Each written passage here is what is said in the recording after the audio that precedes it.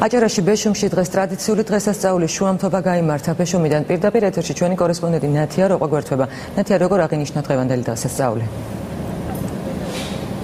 შუამთობა უკვე ტრადიციული დღესასწაულია და მას საუკუნეზე მეტია რაც უკვე მაღალმთიან აჭარაში აღნიშნავენ. ამ ამ სოფელში სპეციალურად ამოდიან ამ დღესასწაულის აღსანიშნავად საქართველოს სხვადასხვა რეგიონიდან.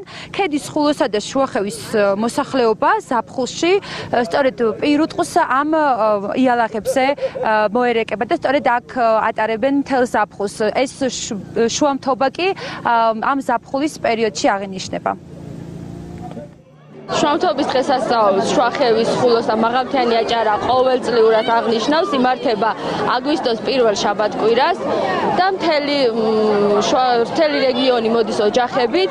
კეთება ტრადიციული კერძები ცდილობენ რომ დაგვახვედრონ ჩვენი მშობლები ბებიები ბაბუები. ტრადიციული კერძებით გვიმასპინძლებიან ძირითადად ბარელები სტუმრობენ თიელებს რა დროსაც გამართება სხვადასხვა სახის ღონისძიებები ღამეში კონცონები და ენ იქნება ხოლმე ტრადიციული კერძებით უმასპინძლებიან მემთევრები, განსაკუთრებით ბარელებს და ერთაგვარი ღონისძიება, ერთაგვარი ხალისობა არის შუამთობა. შუამთობას დღეს საქართველოს პრემიერ-მინისტრი ბიძინა ივანიშვილი ესწრებოდა, მან მიულოცა ბეშუმში შეკრებულ მოსახლეობას ეს დღესასწაული და გაიხსენა გასული წელი, როდესაც ის ამოვიდა ბეშუმში, თუმცა ვერ მოახერხა ამ დღესასწაულზე დასწრება, რადგან მამას ამის შესაძლებლობა არ მიეცა.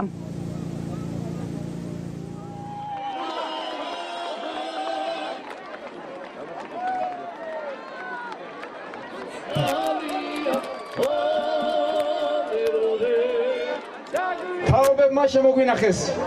თიან აჭარაში ეს დღესასწაული და დღეს უკვე სახალხო დღესასწაულად 21 საუკუნეში სახალხო დღესასწაულად გადავაქციეთ. სახალხო დღესასწაულია ჭეშმარიტად შუამთობა დღეს თქვენ შეგიძლიათ. ერთმანეთს შეეჯიბროთ ცხენოსნობაში ჭიდაობაში სიმღერაში და ვაჩვენოთ როგორი შემოქმედი ხალხი ვართ ჩვენ. არ შემიძლია არ გავიხსენო. გასული წლის შუამთობა როდესაც მე ძალიან დიდი სურვილი მქონდა თქვენ მოქმერებოდით და თქვენთან ერთად მეზე ემა ეს დღესასწაული მაგრამ როგორც იცით მოახერხა წინა ხელისუფლებამ ეს პარტიულ დაპირისპირებად გადაექცია. სხვადასხვა რეგიონებიდან ჩამოყვანილი ხალხი ზეიმის ნაცვლად ძალადობასა და დაპირისპირებაზე იყვნენ მომართულნი. სიყვარულის და მოფერების დღესასწაული ძალადობის და დაპირისპირების აქციად გადააქციეს. მე მაშინ შეგვიძლით რომ ბოლოს მოუღებთ ამ უმსგავსობას და ჩვენ ეს დაპირება შევასრულეთ. ჩვენ დღეს ყველანი ერთად ვარ და ერთად ვზეიმობთ ამ დღესასწაულს. და ვერასდროს მომავალში, ვერასდროს ვერავინ ვეღარ შეძლებს ქართული ხალხის დაპირისპირებას. საქართველოს ყველასია ეს ზეიმის ახალხოა და ყველას უნდა კონდეს უფლება ამ ზეიმში მონაწილეობის მიღების. მე დღეს ბედნიერი ვარ რომ მოახერხეთ ჩვენ გაერთიანება და ჩვენ ჭეშმარიტად მომართულნი ვართ ყველანი ჩვენი ქვეყნის მომავალი აღშენებლობისათვის განსაკუთრებით მიყვარს თიანი აჭარა. საოცარი ხალხი ხართ თქვენ. საოცარი მოფერება იცით საოცარი თავდავალობა იცით საოცარი მშრომელები ხართ თქვენ. და თქვენი მსახურებთ ყველან არის სიყვარულს ყოველგვარ მოფერებას. ყველაფერს გააკეთებს დღევანდელი და მომავალი თავრობა იმისათვის რომ თქვენ ნამდვილად ჭეშმარიტად ღირსეულად გეცხოვრებოდეს თქვენ საყვარელ სამშობლოში. კიდევ ერთხელ გილოცავთ და ძალიან ბედნიერი ვარ რომ დღეს ჩვენ შეგვიძლია ერთმანეთს მოვიფეროთ და სიყვარული გავუზიაროთ. გილოცავთ ჩვენთობას ბედნიერებას გისურვებთ ყველას.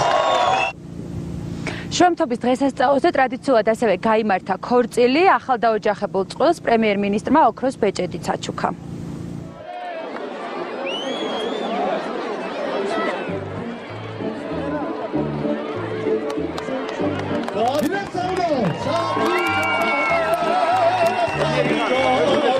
Thank you.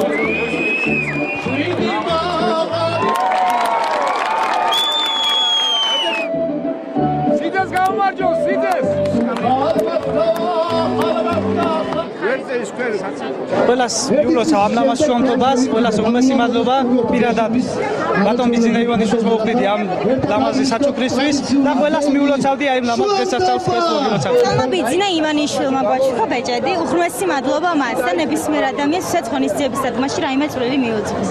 ძალიან ბედნიერები ვარ და რა ვიცი. ყველას ვუსურვებ ასეთ ბედნიერებას. შუამთობის დღესასწაულს ასევე ესწრებოდნენ სასულიერო პირები. მეუფე სპირიდონმა დიდი მადლობა გადაუხადა ბიძინა ივანიშვილს იმის გამო, რომ ის 1998 წლიდან აჭარაში აფინანსებს ბავშვთა სახლებს და ასევე ხიჭაურის უნივერსიტეტის შეტანილი წვლილისათვის. თქვენ ხართ იაკობ გოგებაშვილის აკაკი დიდი მადლობა. ის უნივერსიტეტი, რომელიც დაარსებულია ხიჭაურში, მას ბატონი ბიძინა ივანიშვილი ძალიან დიდ შეწევნას უჩენს და ძალიან ეხმარება. ყოველ თვეში ეხმარება ძალიან დიდი სოლიდური თანხით. და მე მინდა მას ამისთვის ძალიან დიდი მადლობა გადაუხადო.